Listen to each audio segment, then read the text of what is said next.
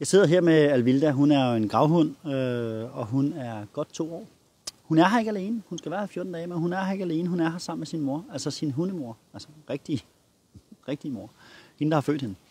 Øh, Alvilda har, hun trænger som ondt over, ikke? Altså som i et ondt år. Nu har vi jo trænet med hende i et par dage, og hun trækker ikke som ondt år mere. Øh, hvorfor gør hun ikke det? Det, det gør hun ikke, fordi det er, at jeg er begyndt at få en værdi. Altså et menneske er begyndt at få en værdi.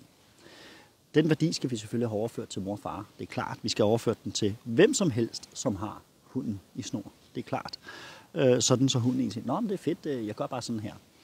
Det har jeg gjort egentlig ved at lave nogle af de her target, og, og hun skal følge efter, og jeg har egentlig også lavet det her med indkald, fordi at hvis ikke hunden gider komme tilbage øh, til dig, så har du ikke den her værdi. Og jeg ved godt, at det herude, det er rigtig, rigtig stor øh, værdi for hende. Og det er det for en gravhund. Ja, det er det, skat. Hun får lige en godbid bare for at egentlig sidde der, ikke? Altså, bare for at, at være der nu. Øhm, så det også kan betale sig faktisk at sidde her ved siden af os. Ikke? De kan også godt lide at blive kælet. De bliver kælet rigtig meget. De er hunde, og de er, man kan ikke lade være. Vi har jo også selv haft Severlin, som I måske kender, øh, og det er nogle kæle på dig, og det er helt fantastisk. Jeg vil egentlig godt prøve at vise jer, at, øh, at, at hvad, er, hvad er hele ideen, og hvordan får vi det bygget op, fordi at mor, altså Bertha, hunden, kan udmærket gøre alle mulige ting, også gå pænt og sådan nogle ting. Men, men lige så snart at vi kommer ud i, i stor stimuli, så har Alvilda bare den her med, jeg kan ikke se noget, jeg kan, I kender det godt. Altså næsen i jorden væk, jeg kan slet ikke, jeg kan ikke høre, se eller noget som helst, der ligner noget som helst. Og det skal vi jo have, sådan så vi får en værdi. Øh, og det skal bygges op lige så stille og roligt. Nu skal I bare se her, hvordan vi laver øh, med indkaldet. Lige så stille og roligt, og jeg siger bare, jeg kaster den her godbid hen, og det skal jo kunne betale sig for hende, både at gå ud og tage den, men det skal også kunne betale sig for hende at komme hjem igen, altså komme hjem til mig. Til at, starte, til at starte med, så lader jeg hende ikke... Nu tabte jeg en godbid der, ikke? Til at starte med, så, så er det ligegyldigt med, at hun bliver der og alt det der. får hun bare lov at gå ud og tage den. For det er jo ikke alle de andre ting. Det er små ting af vejen. Det er, at jeg kaster den her. Hun ser det. Hun går hen efter den. Jeg klikker og siger, ja! Sætter mig ned på knæ. Og hun har lært nu, at det kan betale sig at komme tilbage. Det der, det var halvanden meter. Så laver hun target og target, og lige et target mere i forhåbning om, at hun får den, men hun er faktisk så dygtig, at jeg også godt kan lave noget kontakt med hende. Det vil sige, jeg kan egentlig stå herude med godbiderne, og hun skal stadig bare kigge på mig. Jeg tager den ind til mig selv og giver hende den. Værsgo. Tager en ny op, viser hende dem. Laver lidt stimuli på ved at gøre sådan her. Sådan der. Det kan altså betale sig at komme tilbage. Kan I se det? Det er alting for, er ikke kun naturen. Der er også noget med dig som menneske, at du faktisk har en værdi.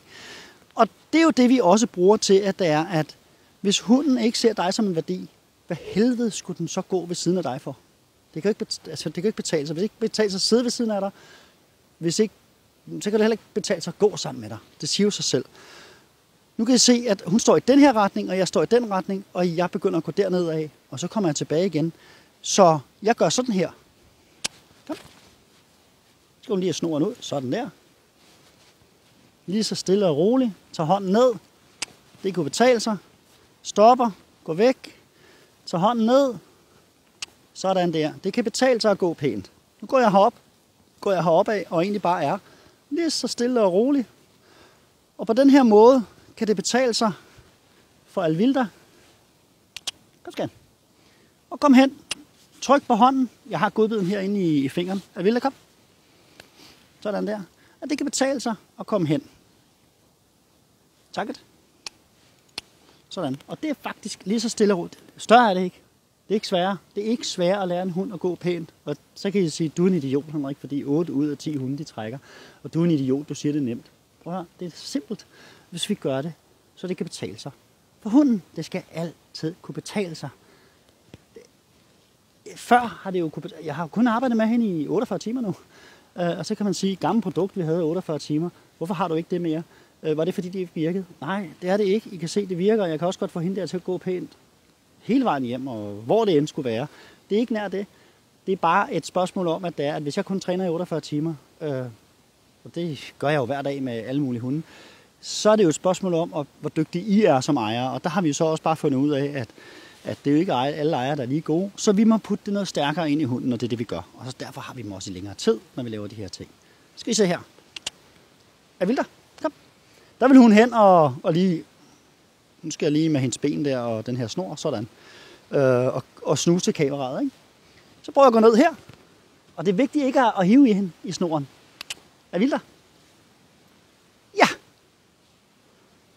og se, nu har hun fundet et eller andet. Og det er jo så svært for mig der at kalde på hende på en ja. Kunne se, hun fandt sig en godbid. Vi har gået og, og, og trænet og lavet lidt forskellige ting, så har hun selvfølgelig fundet en.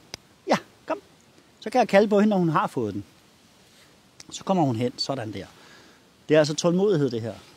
Andet er det ikke. Så øh, hvis du skal have din hund til at gå pænt, så skal du også have en værdi. Og jeg taler ikke om en værdi med elske og alt det her, for selvfølgelig elsker du din hund, og din hund elsker også dig. Den elsker dig bare ikke nok, når du er ude i naturen. Så kommer den op på vægtskålen. Hvad vil jeg helst? Vil jeg dig, eller vil jeg naturen? Jamen, den vil selvfølgelig naturen, fordi hvis du ikke gør noget, når du er ude at gå, hvorfor skulle jeg så vælge dig? Altså, hvorfor skulle jeg så som hund vælge dig? Hvis ikke, at I begynder at sige, den her stimuli her, der er herude, den kan jeg da godt se, skal jeg da. Jeg kan godt forstå, at du vil have den. Og det skal du også nok få, og du får den også som en belønning, når vi er færdige. Altså i x antal lang snor øh, til at starte med, så ikke hunden løber væk. Sådan det her. Det handler om, at du skal have en værdi. Og den øh, skal vi nok bygge ind i, at, at mennesket har en værdi. Så øh, jeg vil gå en lille tur med hende nu her. Og jeg vil faktisk godt lige lave en til af de her. Skal du se her. Så, her skal ja. skal jeg lige finde en, der har en størrelse, så så det ikke er sådan noget småsmulder. Ikke?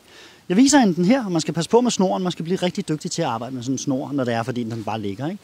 Jeg kaster den hen. Jeg går selvfølgelig efter den. Der er verden, så klikker jeg. Og så siger jeg, ja. Og sætter mig ned på knæ. Og hun kommer tilbage. Det er et lige så stille og roligt indkald. Sådan der, skal jeg. sætter den der. Ja, ja, det var godt. Ja. ja, det er hyggeligt. Ja, det er dem her, du gerne vil have. Og du kigger på dem, og du kigger på dem, men så sætter vi dem der bare herude og ser, hvordan er det, man får godbiden. Det gør man ved at holde kontakt med mennesket. Fantastisk.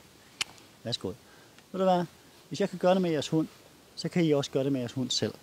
Øh, og se nu bare kopiere det her, hvis I synes, det er sjovt. Så gør det samme. Gå ind på vores VIP, øh, hvor I ser, altså inde på vores VIP Academy, der kan man gå ind og se 50 timers video. Altså det er rigtig, rigtig meget video øh, om, hvordan at jeg egentlig træner hund, og hvad det er, jeg egentlig gør. Så øh, Møs. Det var godt, det var godt. Der slikker hun sådan ud i munden. Det er rigtig hyggeligt, ikke? Så øh, vi ses derude, så vil jeg nu belønne hende for det, vi har gået og lavet nu. Altså ved, at hun bare får fri, øh, uden det skal være i tryk snoren, ikke? Så vi ses derude. Avila, kom. Ja. Det godt, skat.